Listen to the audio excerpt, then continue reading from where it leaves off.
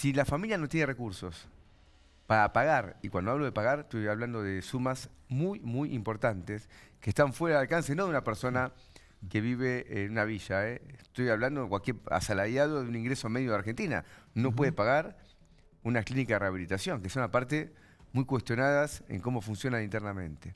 Todo eso no está, tampoco hay laburo, tampoco hay educación, no hay perspectiva. Entonces vos tenés que, por un lado, atacar la inseguridad que parte del propio Estado, y por otro lado, evitar que los pibes caigan en situaciones que no tienen que caer. Y para eso hace falta ofrecer una perspectiva. Todo lo contrario que hace este régimen, todo lo contrario. Yo, mira, vengo de la legislatura recién. Sí. Eh, se reunió una comisión que ah, tiene que ver con todos los problemas sociales de la ciudad. Y yo protestaba porque ¿cómo puede ser que el gobierno de la ciudad le quite un plan de asistencia social a un chico porque faltó al colegio? Se lo castiga. Un pibe que falta al colegio tiene un problema. No se lo puede castigar quitándole una parte un subsidio que no alcanza para nada, 7 mil pesos. Nadie manda un pibe un mes a un colegio con 7 mil pesos. No. Pero se lo quita, en vez de ir a buscarlo, de ver qué pasó. De hecho, si tiene que tomar transporte público, ahora que aumenta otra vez, por, eso, por ahí no te alcanza ni para cubrir entonces eso. hay una política que va en esa dirección.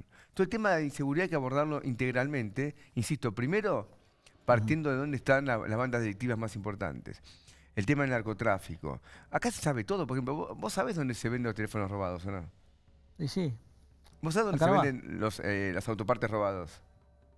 también. En Warner, ¿se sabe o no? Sí, sí, sí, sí. Todos Todos, sí todos saben. sabemos, celulares a Libertad o al 11 Bueno, bueno, y, y a Warner. Todo se sabe. Y sin embargo, y, y cuando vos ves el tema del narcotráfico y vas a un barrio, le preguntás a, la- a los vecinos dónde están los búnkers, te van a decir acá está el búnker, acá está el búnker, acá está el búnker. Sí. Si lo saben los vecinos, lo sabe la policía.